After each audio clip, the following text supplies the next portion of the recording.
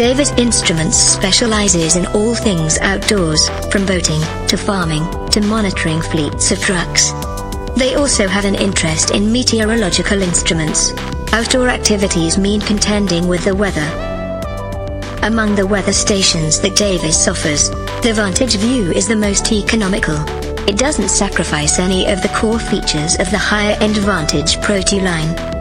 It is an option for the dedicated enthusiast as well as the professional. To see our full review of this weather station, please pilot your web browser to botdb at botdb.net, the web's complete robotics database, and search for the Davis Instruments Vantage Vue. Or click beneath this video. Just because there are more expensive options on the market doesn't mean that this isn't a commitment. Hobbyists who are just looking to measure things at the level of humidity might want to stick with something more simple. Options include the La Crosse Technology 308 146 or the AcuRite 00509. The sensor resembles the outboard motor on a small boat. What looks like the propeller is actually a weather vane. The tiller is an anemometer, a wind speed gauge that can handle hurricane force winds up to 180 miles per hour. Above those it has a round bin for collecting rain. At the front of the unit is a solar panel that powers it during the day.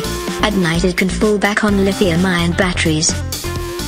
The console receives real-time data from the sensor wirelessly, at a distance of up to 1,000 feet.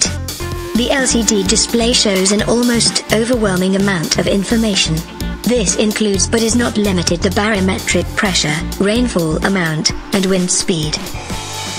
The console also shows daily highs and lows.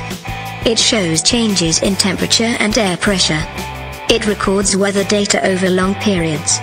It will graph changes in a number of weather variables over user-definable intervals. Please go to BotDB at botdb.net to see our full review of this weather station. Search for the Davis Instruments Vantage Vue. Or click the link at the bottom of this video.